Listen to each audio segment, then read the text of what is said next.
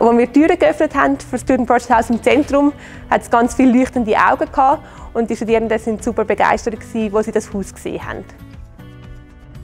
Das Student Project House ist ein Ort, wo Studierende ihre eigenen Ideen verwirklichen können. Sie sind intrinsisch motiviert, bei uns gibt es keine Kreditpunkte. Das heisst, sie kommen hier an, weil sie wirklich ihre Ideen verwirklichen möchten und sie lernen auch noch dabei ganz viel fürs Leben. Die Studierenden lernen viel beim Ausprobieren. Wichtig ist, dass man außerkurrikuläre Möglichkeiten anbietet. Beim Student Project House gibt es einen fantastischen Ort, wo man selber gehen kann und man sagt ein bisschen auf Englisch Think, Make and Break, Show and Connect. Und dies sind wichtige Teile in, diese, in diesem so kreatives System, wo man versucht, von Ideen zu Prototyp zu kommen.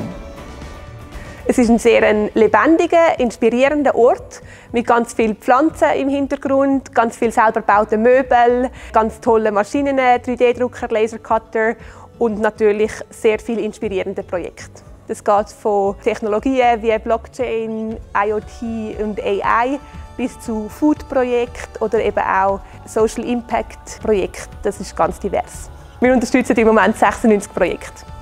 Es ist eine super tolle Möglichkeit, schon während dem Studium eine eigene Idee zu verwirklichen. Und ETH bietet da eine tolle Infrastruktur.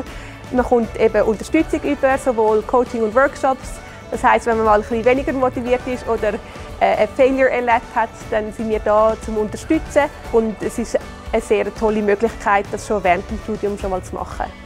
Ich glaube, hier ist eine Chance für die Studierenden, in einem geschützten Ort verschiedene Dinge auszuprobieren. Man lernt viel davon.